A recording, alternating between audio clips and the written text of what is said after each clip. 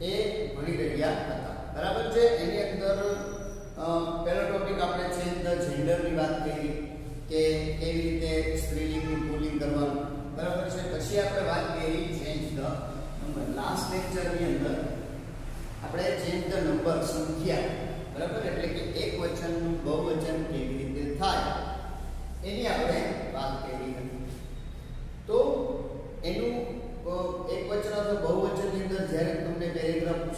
એના સેન્ટેન્સીસ આપણે લાસ્ટ લેક્ચરમાં એક્સરસાઇઝ કરી હતી એક્ઝામની વાત કરીએ બરાબર તો એક્ઝામની અંદર તમને આવી રીતે પેરેગ્રાફ આપેલો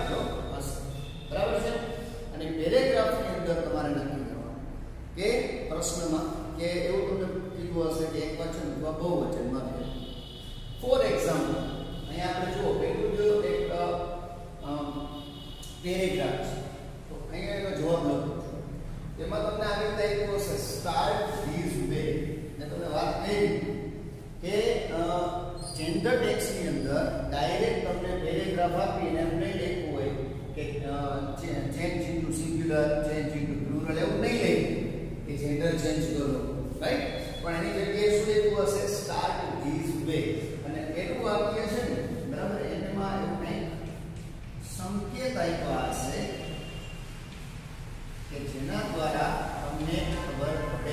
ફોર એક્ઝામ્પલ આવું આપ્યું છે પોલીસમેન ઘર ઘર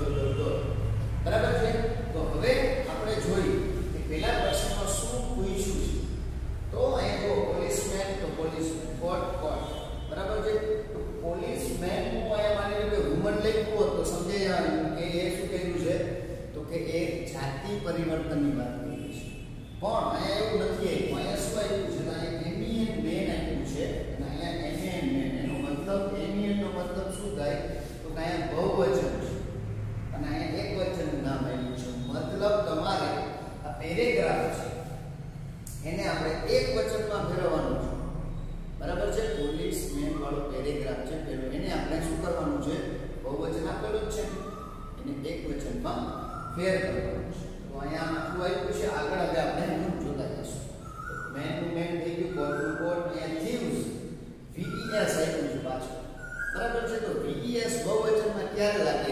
તો નિયમ એમ લખાયો હતો કે પાછળ એફ અથવા એફ ઈ હોય તો આમાં આવશે F E H I E F પહેલું વાક્ય આવું થશે પોલીસમેન કોટ થીવ્સ બરાબર અહીંયા તમે ક્રિયાપદ છે ને એનું ભૂતકાળનું રૂપ છે એટલે ન બદલે બરાબર પણ અહીંયા વર્તમાન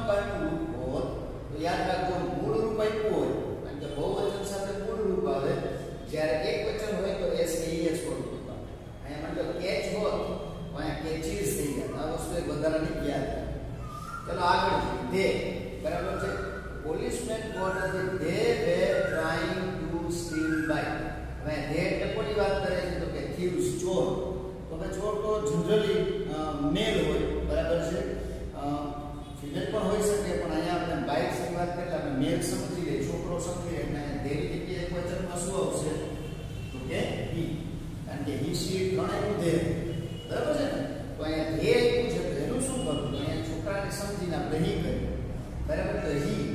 પછી વેર થઈ જાય એ વચન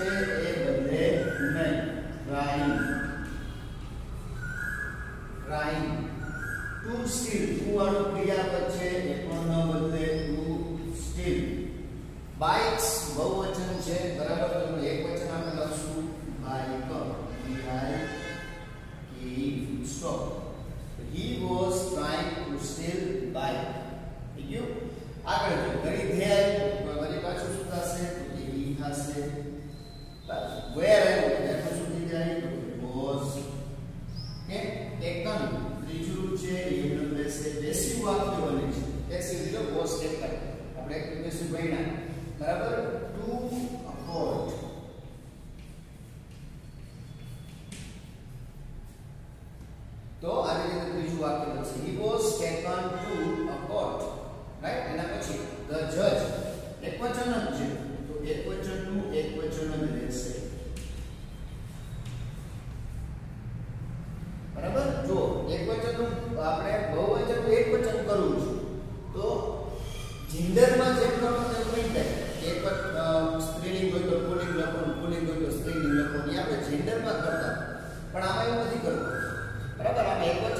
છે તો 51 બદલાય ને એમ રાખો એટલે જજીસ નહીં કરવાનો રાઈટ પછી ભૂતકાળનું રૂપ નહીં બદલે બનીશ બરાબર ને ધેમ ધેમનું થઈ ગયા છે ઈમો કારણ કે ધેમ કર્મ વિભક્તિ છે બરાબર કે તમારે ઈ કર્મ વિભક્તિ લખવાનું હિમ રાઈટ તો આવી રીતે વાક્ય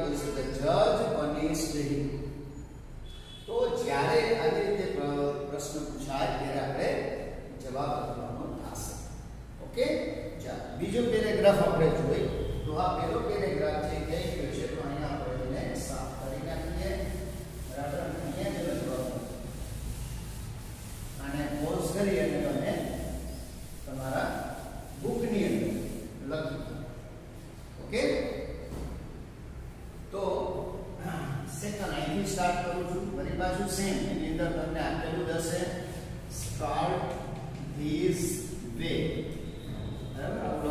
જશે અને આમાં તમને એવું લખ્યું હોય કે આ શનિવારે ગુરુ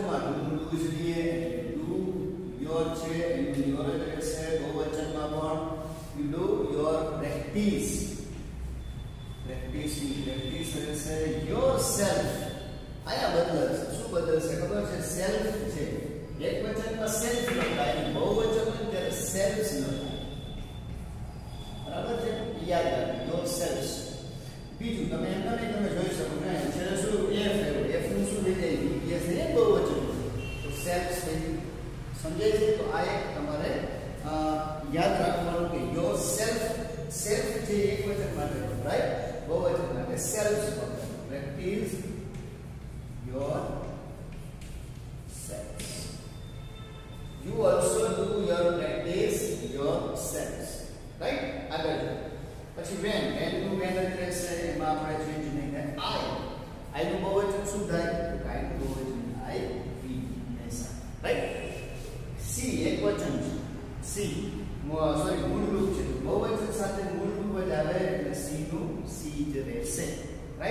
પરિભાષ યુ યુ યુ જ રહેશે બહુવચનમાં ન ફેરફાર થાય આઈએનજી વાળું ક્રિયાપદ છે લેઇંગ લેઇંગ છે એ પણ નહીં બદલે right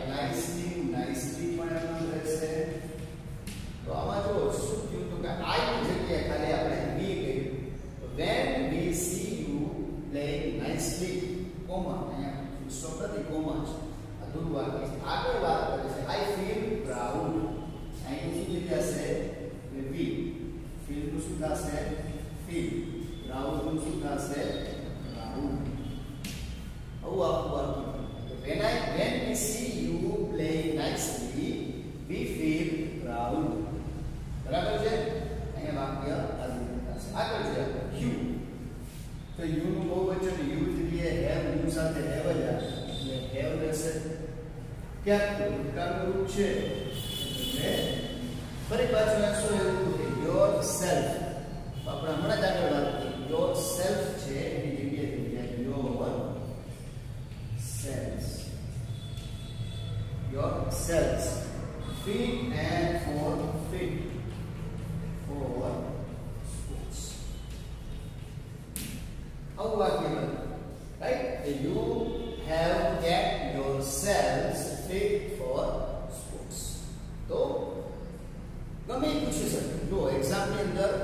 Senhor, porque quando não vão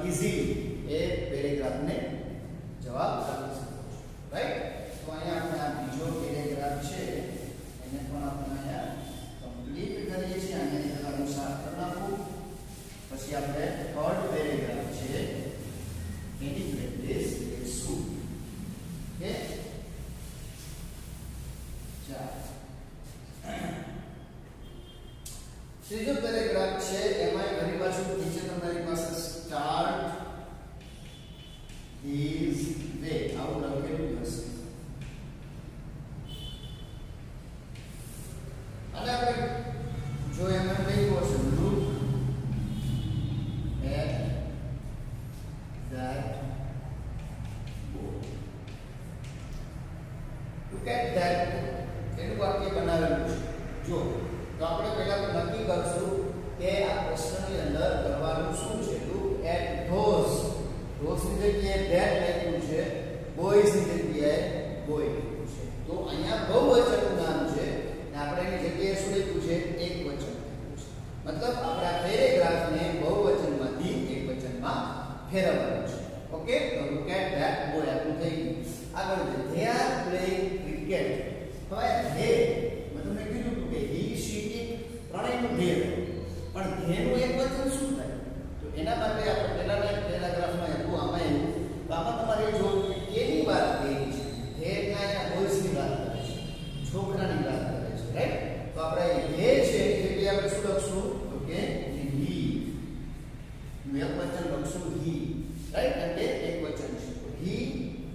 Exact, uh, is, a sorry, article to de the.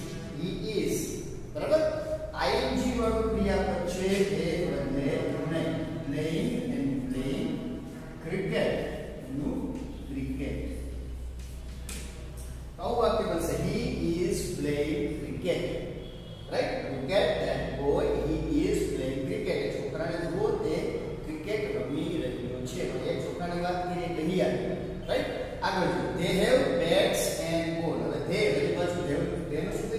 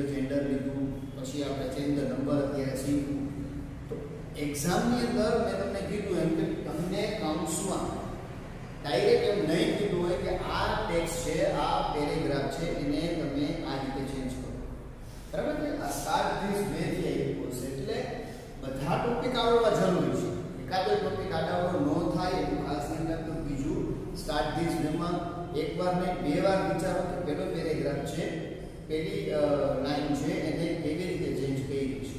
પછી તમે પેરેગ્રાફને નક્કી કરો કે એમાં શું કરવાનું છે? કે ભાઈ જેન્ડર ચેન્જ કરવાનું છે, કે બહુવચન કરવાનું છે, કે એકવચન કરવાનું છે રાઈટ તો આ બરાબર સમજો ને, તો તમે એનો જવાબ લખી શકશો. એટલે નિયમો યાદ રાખો, પ્લસ એમાં જે સાતથી બેને બરાબર સમજીએ અને પછી તમારે પ્રશ્ન લખવાનો છે. તો સ્ટાર્ટ સોરી જેન્ડર ટેક્સની અંદર બીજો ટોપિક હતો.